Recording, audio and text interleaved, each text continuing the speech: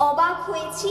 একটা খুব ভালো লাগার আবেশে আমরা মনোমুগ্ধ হয়েছি। এবার আবৃত্তিতে ডেকে নিচ্ছি সিনজিনি লাহিড়িকে